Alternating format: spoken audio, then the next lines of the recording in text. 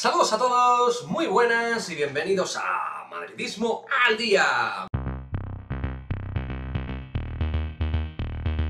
Victoria del Real Madrid 1 a 3 frente al Athletic Club de Bilbao en Lezama en un sensacional partido del Real Madrid femenino. De hecho, para mí ha sido uno de los dos, tres partidos más completos que ha hecho el Real Madrid en esta temporada, sobre todo en los primeros 45 minutos, con auténticos golazos en este encuentro, goles de Kosovar Aslani, Marta Cardona y de Aureli Cazzi, en un encuentro que sinceramente hemos dominado del minuto 0 al 90. Nunca he tenido yo la sensación ni la percepción de que el Athletic Club tuviera alguna posibilidad real de competir este partido que hemos dominado en cuanto a la posesión, en cuanto al ritmo, en cuanto al posicionamiento sin balón y en cuanto a la agresividad en la fase ofensiva, en la capacidad de hacer llegar balón a las atacantes, en jugar al espacio y en jugar a pocos toques, con mucha velocidad, mucho ritmo y mucho movimiento de desmarque. Sobre todo, quería subrayar esto que ha sido muy importante los movimientos de Aslani, de Marta Cardona, las dos mejores, pero gran partido de Maite Oroz y de Aureli casi dominando en el medio del campo. También muy activas las laterales, tanto Kenty Robles sobre todo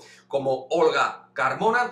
Y en definitiva sí, el Athletic no ha tenido eh, opción de meter miedo al Real Madrid en este partido. ¿Con qué cositas nos quedamos? Pues hombre, la fotografía de los goles. El golazo de Aslani, el golazo tremendo, el segundo en el 24 de Marta Cardona. Hay que decir que también que el partido en el momento que marcas en los 10 primeros minutos ya se te pone todo muy bien porque la sintomatología del partido te invitaba a que ibas a ganar, entre comillas, fácil el partido, pero obviamente, y es de perogrullo, cuando encuentras ese primer tanto, todo se encuentra de manera mucho más factible. El segundo tanto de Marta Cardona, fuera del área, golpeando en el larguero, realmente espectacular, espectacular el gol de, de la aragonesa, y llegando así al descanso, pues es verdad que daba también la sensación de que podía bajar el ritmo, de que no se iba a jugar eh, a tantos grados de velocidad en, la segunda parte, todo bajó un poquito, el Madrid también contempló un poquito con el resultado, eh, jugó de manera más horizontal,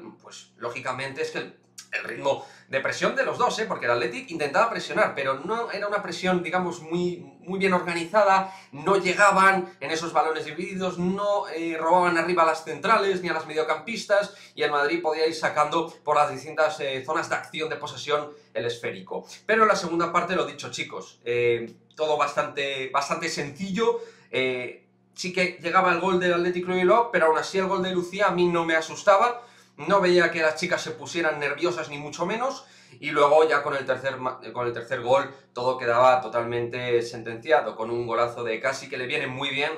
Yo es verdad que he marcado algo de crítica eh, sobre la futbolista de, de Lyon, pero eh, en los últimos tiempos ha ido recuperando también sensaciones eh, consigo misma. lo de pues ha sido espectacular, ¿no? Intervenía en muchísimas jugadas, de nuevo, todo lo que tiene que ver con la parte creativa del, del equipo, se sumaba al centro del campo generando superioridad por dentro, también por las bandas ayudando tanto a Marta Cardona como a Sofía Jacobson, que volvió a ser otra vez la eh, peor jugadora de, la parte ofensiva del, Real Madrid. Luego llegarían las permutas con Lorena Navarro y Marta Corredera, dando un poquito también de oxígeno, aunque hay que decir que tras esta victoria todavía queda un mes de competición entre Copa de la Reina, selecciones, eh, partidos que se van a jugar, etcétera. Todavía queda eh, bastante competición en cuanto a, no a jornadas, que quedan tres, tres partidos, sino que todavía hay tiempo y hay que ir eh, trabajando también un poco con todas las, futbolistas. Aznar tiene que encontrar en esta recta final también el aire de todo el equipo. Hoy lo ha encontrado, ha dado con la tecla, ha dado con el 11.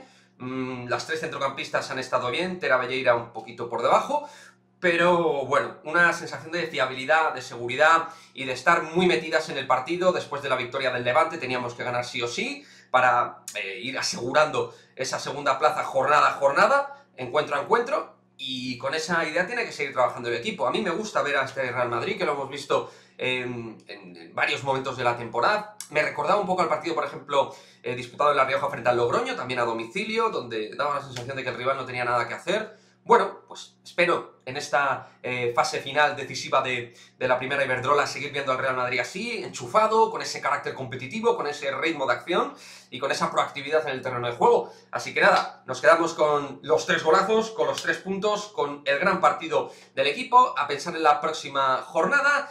Y nada, eh, suscribiros, que veo que muchos de los que veis los vídeos del canal, el ochenta y tantos por ciento, no suscribís a Madridismo al Día. Suscribiros, que además, como os comentamos en el último directo de postpartido de, de la Liga, em, tenemos muchas sorpresas, muchas cositas que, que comentaros, pero obviamente todo esto va a ser sobre todo para los suscriptores. Así que nada, nos vemos en el próximo vídeo. Adiós.